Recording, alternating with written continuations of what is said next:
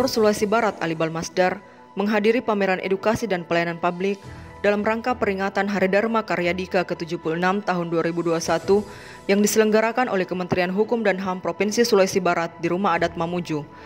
Tahun ini mengusung tema Kemenkumham semakin pasti bangga melayani bangsa mewujudkan pelayanan kelas dunia. Gubernur Sulbar Ali Balmasdar mengatakan, kegiatan tersebut bertujuan untuk meningkatkan kadar kesadaran hukum masyarakat Sulawesi Barat. Selain itu, juga dilakukan untuk meningkatkan pemahaman masyarakat Sulbar tentang jaminan pemenuhan hak asasi manusia. Pada kesempatan tersebut, Gubernur Sulbar juga menyampaikan apresiasi terhadap Kemenkumham yang telah mengadakan pameran produk dari Sulawesi Barat.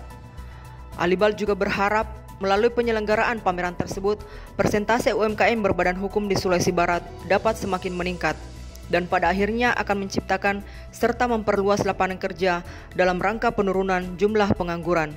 Untuk meningkatkan adab kesadaran hukum masyarakat Barat, meningkatkan tentu pemahaman masyarakat Sulbar tentang jaminan dan pemenuhan hak asasi manusia.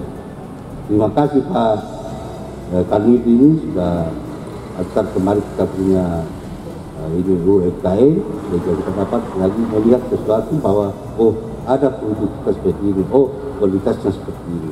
Kami berharap kegiatan ini juga menjadi sarana bagi UMKM di Sulawesi Barat untuk segera mendaftarkan usahanya sebagai usaha yang berbadan hukum. Kepala Kantor Kementerian Hukum dan HAM Provinsi Sulawesi Barat, Anwar mengatakan, kegiatan tersebut adalah momentum yang digunakan untuk memperkenalkan layanan publik Kementerian Hukum dan HAM Provinsi Sulawesi Barat. Selain itu, juga untuk mewujudkan kondisi pemenuhan hukum yang lebih baik, kegiatan tersebut juga dilakukan sekaligus dalam rangka silaturahmi antar kantor wilayah dengan seluruh jajaran pemerintah daerah, stakeholder, dan mitra kerja Kementerian Hukum dan HAM.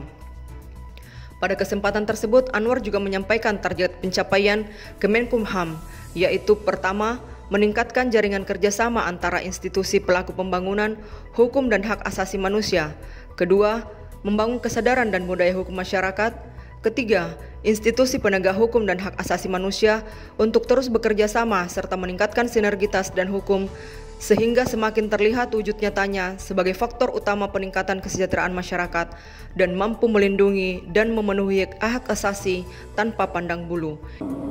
Ini adalah momentum yang kami gunakan untuk memperkenalkan layanan publik Kementerian Hukum dan Hak Asasi Sulawesi Barat untuk mewujudkan kondisi pembangunan hukum yang lebih baik juga untuk membangun silaturahmi antara kantor wilayah dengan seluruh jajaran pemerintah daerah, stakeholder, dan mitra kerja Kementerian Hukum dan Administrasi Sulawesi Barat.